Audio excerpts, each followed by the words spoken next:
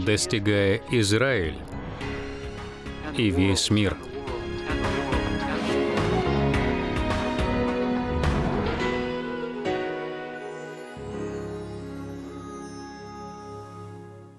Шалом Ахувим, что значит «возлюбленные».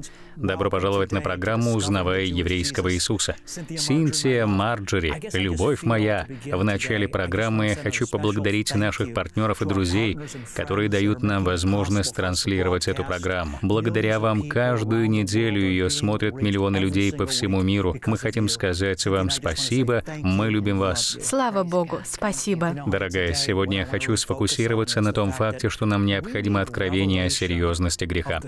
Ты согласна, что сегодня сегодня даже само слово «грех» стало формальным. Многим оно уже кажется каким-то устаревшим, и люди даже не задумываются над его значением. Что же это означает на самом деле? Верно. Я даже спрашивала Господа, что такое грех. Многие думают, что грех — это пить алкоголь, курить или что-то еще. Но я знала, что грех — это нечто большее. Поэтому я спросила у Господа, что такое грех?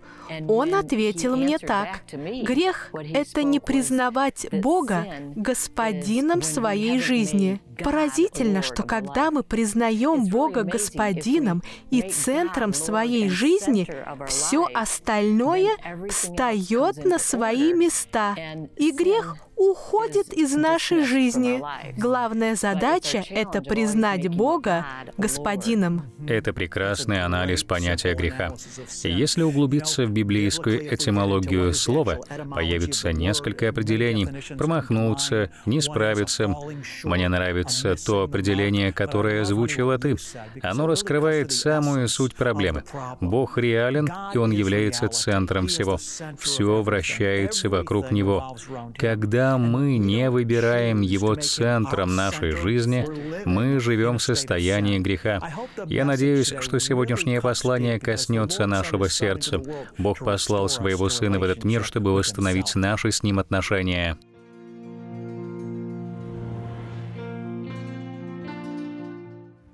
Шалом и браха, возлюбленные, мира и благословений. Эту серию я назвал «Путешествие по посланию к римлянам». Это уже второй сезон и третий эпизод серии, в котором мы начнем читать вторую главу послания. Трава засыхает, цвет увядает, а Слово Бога нашего пребудет вечно. Послушайте Слово Божие. Итак, не извинителен ты, всякий человек, судящий другого, ибо тем же судом, каким судишь другого, осуждаешь себя.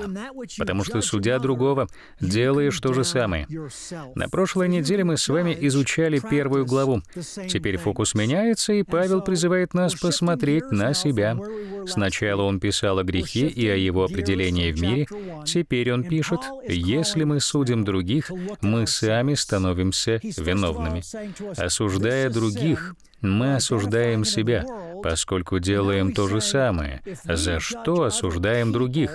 Нам нужно культивировать это понимание в своих сердцах, в своем сознании, в своих мыслях и в своей речи. Нам нужно быть очень осторожными в суждениях. Иисус сказал, «Не судите, и не судимы будете». Я прочту еще раз из послания к римлянам второй главы. Это первый стих. «Итак, не извинителен ты, всякий человек, судящий другого, ибо тем же судом, каким судишь другого, осуждаешь себя, потому что, судя другого, делаешь то же самое». Иешуа сказал, «Не судите и не судимы будете». Не знаю, как вы, но я каждый день принимаю решение следить за своим языком и за своими словами. Каждый день мы с кем-то разговариваем. Порой вы чувствуете, как ход разговора побуждает вас посплетничать или произнести какое-то обвинение в чей-то адрес. Вам нужно противостать этому и отказаться вступать в соглашение против других людей. Не судите и не судимы будете. Будьте очень осторожны с этим. Затем Павел пишет, А мы знаем, что поистине есть суд Божий на делающих такие дела. Неужели думаешь ты, человек, что избежишь суда Божия, осуждая делающих такие дела, и сам делая тоже. Или пренебрегаешь богатство благости, кротости и долготерпения Божия, не разумея, что благость Божия ведет себя к покаянию.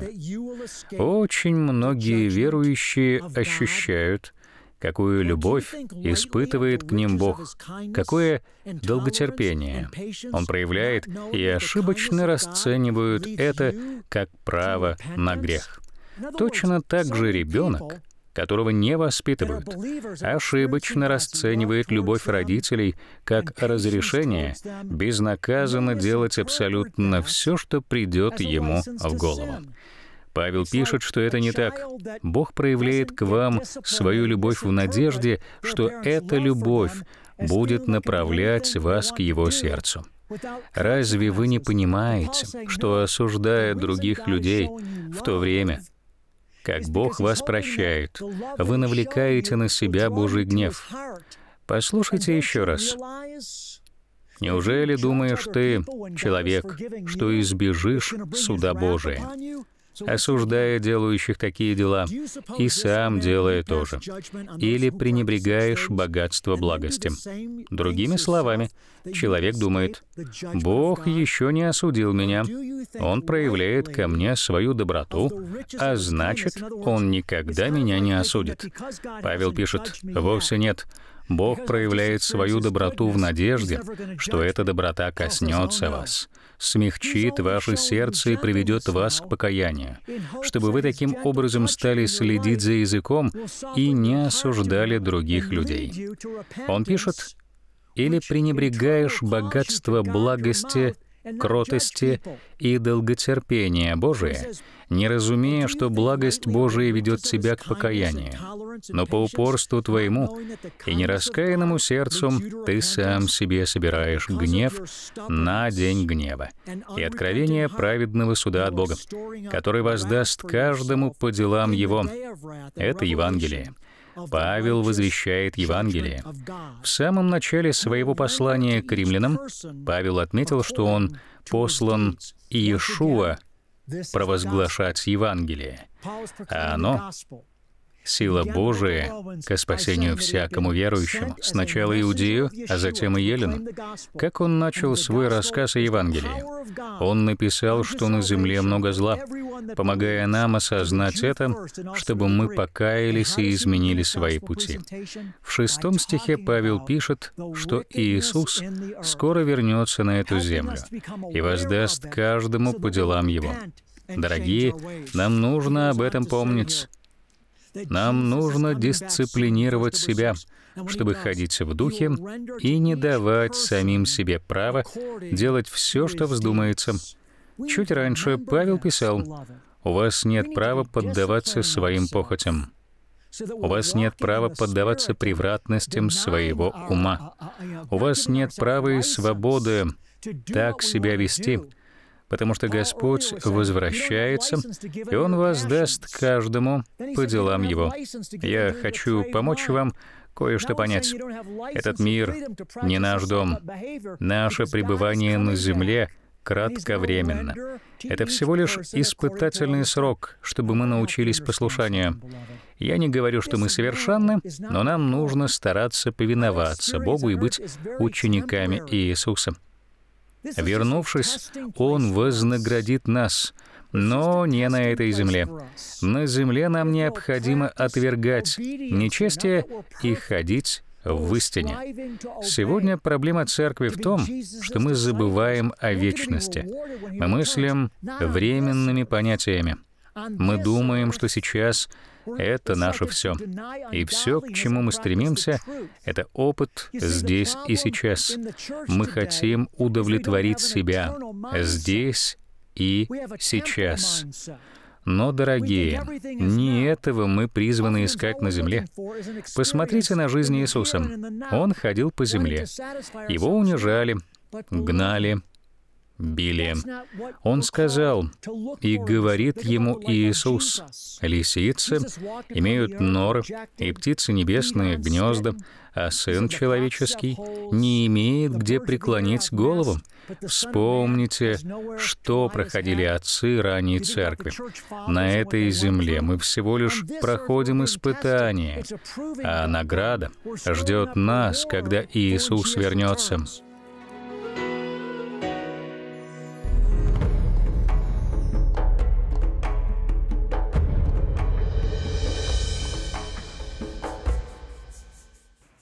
Сегодня в рубрике «Моменты иврита» я расскажу о таком имени Бога, как Эль. Откройте самую первую книгу Библии, книгу Бытия, или Брешит, первую главу, первый стих. Брешит, Бера, Элохим. Это означает «вначале Бог Элухим», а это одно из множества его имен, «сотворил». «Эль» — это имя Бога на иврите в единственном числе. «Элухим» — то имя, которое звучит в первом стихе нашей Библии. Это имя Бога во множественном числе. Разве это не интересно? Здесь мы впервые в Писании встречаем имя Бога Элохим, что означает «всемогущий, правящий Бог», «единственный».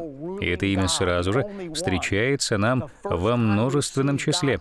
Эль — это единственное число. Элохим — имя, записанное в Бытии первой главе, первом стихе, это имя Эль во множественном числе. Почему? Потому что Бог многомерен. Личность Отца, личность Сына и личность Духа Святого, Руах, все они заключены в одном имени Элохим. Повторю еще раз, дорогие, Бог-творец открывается нам как Элохим. Надеюсь, эта рубрика благословила вас.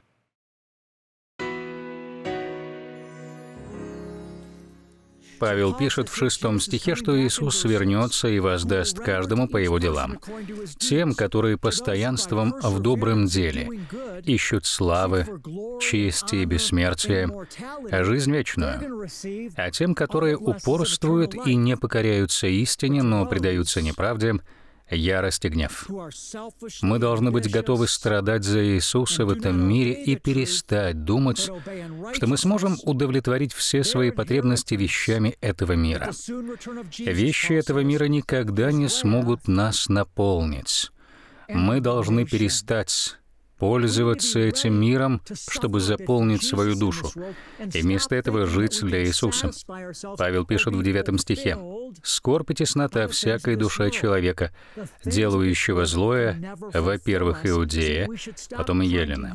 А затем говорит о награде. Напротив, слава и честь и мир всякому делающему доброе, во-первых, Иудею, потом и Елену. Когда? Не сейчас. Запомните это не сейчас. Вспомните апостолов. Их убивали, распинали вверх ногами, варили в маске, избивали. Поэтому награда ждет нас не сейчас. Сейчас мы живем для Иисуса. Сегодня в церкви распространено одно заблуждение, в том числе среди тех, кто пришел туда из движения New Age. Многие христиане, те, кто верит в реального, исторического Иисуса, ждут, что Бог даст им все в этом мире, и это сделает их счастливыми. Однако Библия говорит нам в первом послании Иоанна, все, что в мире, это похоть плоти, похоть очей и гордость житейская. И это не есть от Отца, но от мира сего. Богословие New Age проникло в церковь, и оно полностью сфокусировано на настоящем, на нынешнем моменте. А люди, особенно молодое поколение, ищут исключительно сиюминутных переживаний.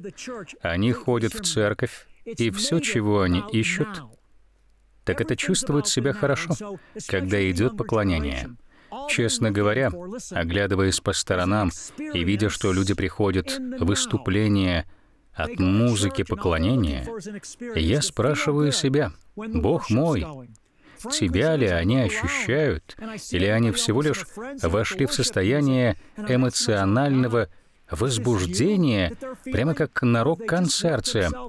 Подлинное ученичество и подлинное поклонение — это не только мурашки в то время, когда звучит музыка поклонения. Подлинное поклонение — это послушание, это стиль жизни.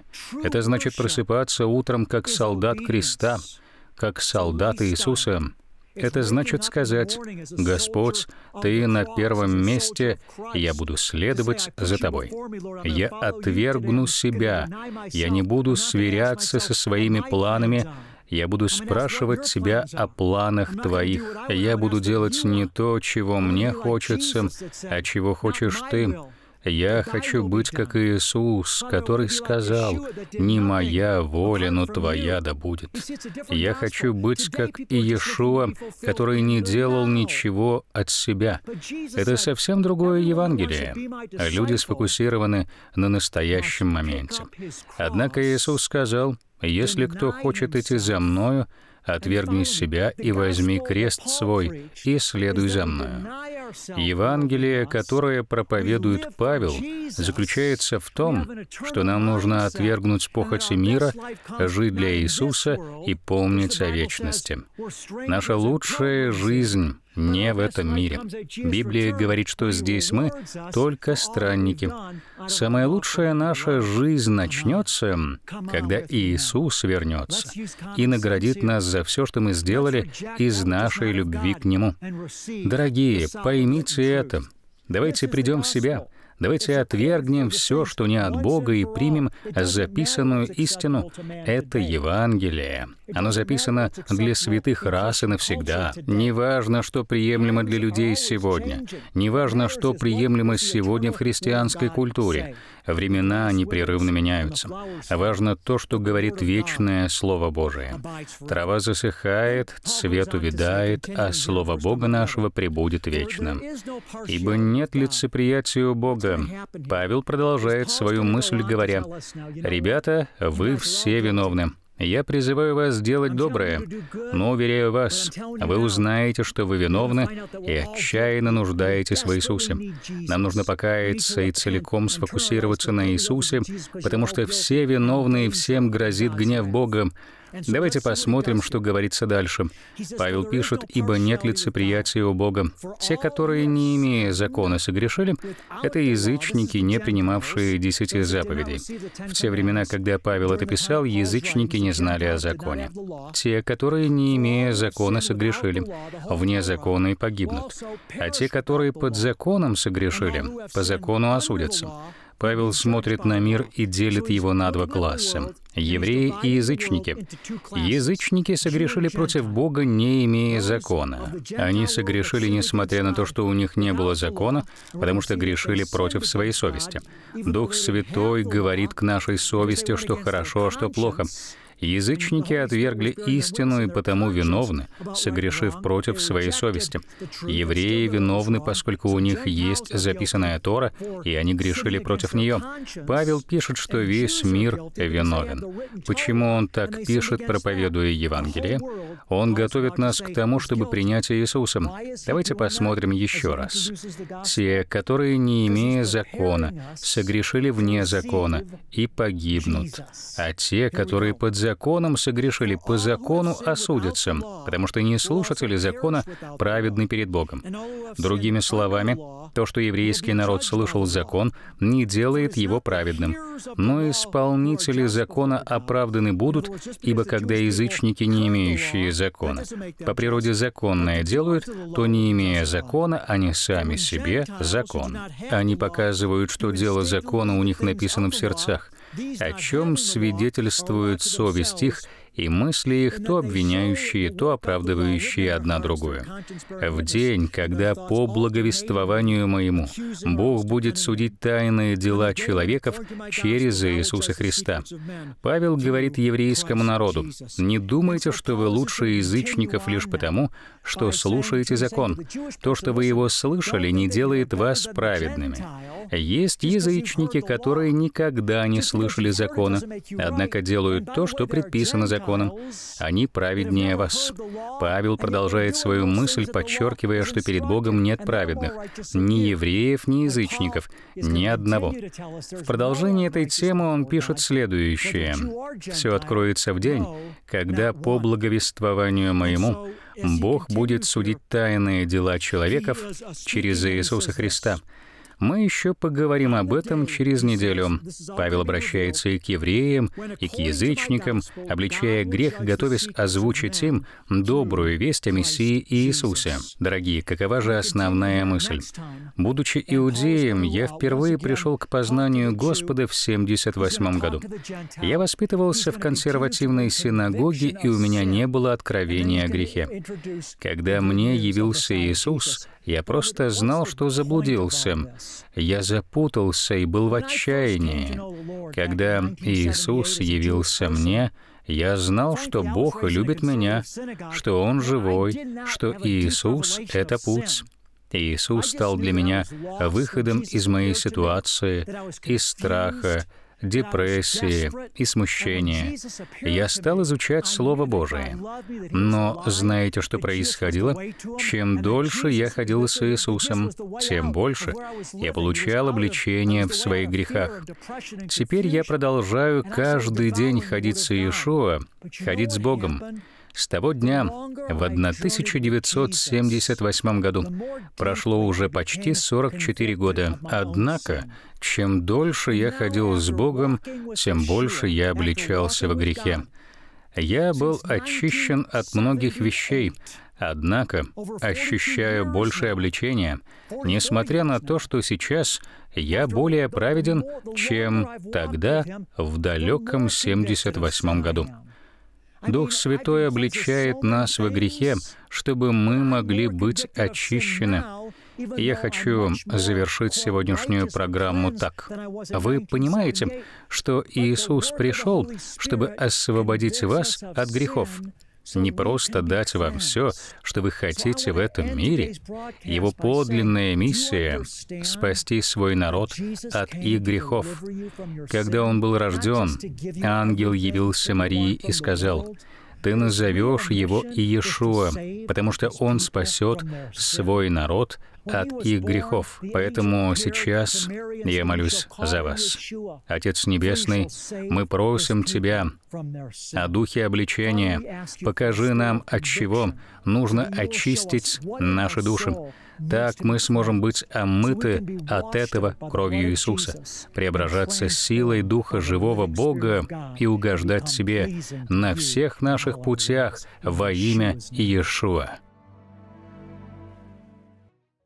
В книге «Числа», в шестой главе, Бог сказал Моисею и Аарону, «Произносите это благословение на мой народ, и тогда мое имя будет на них, и я благословлю их».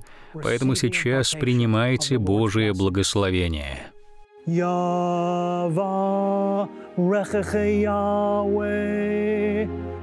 וישמרך Yair Yahweh panav elecha vihunecha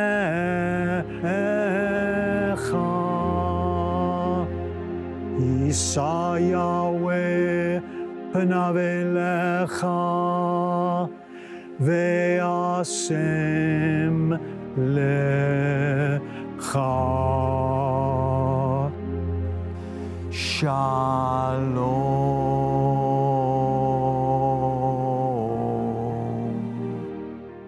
Да благословит вас Господь, Бог Израиля, и сохранит вас.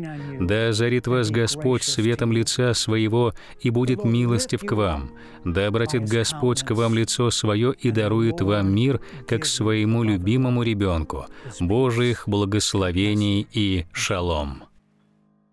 Если двое из вас согласятся на земле просить о всяком деле, то чего бы ни попросили, будет им от Отца Моего Небесного. Позвольте нам молиться о вас. Присылайте нам на сайт ваши молитвенные просьбы или пишите на наш почтовый адрес. Наша команда молитвенников молится за каждую нужду в отдельности. Когда вы получите ответ от Бога, или если Бог коснулся вас через наше служение, вышлите нам свое свидетельство. Мы хотим радоваться вместе с вами. Ваше свидетельство вдохновит других. Мы побеждаем кровью Агнца и словом свидетельства своего. Из следующего выпуска вы узнаете, что Бог призывает вас в более высокое измерение. Присоединяйтесь к Равину Шнайдеру, и вы узнаете, как жить не сегодняшним днем, а думая о вечности.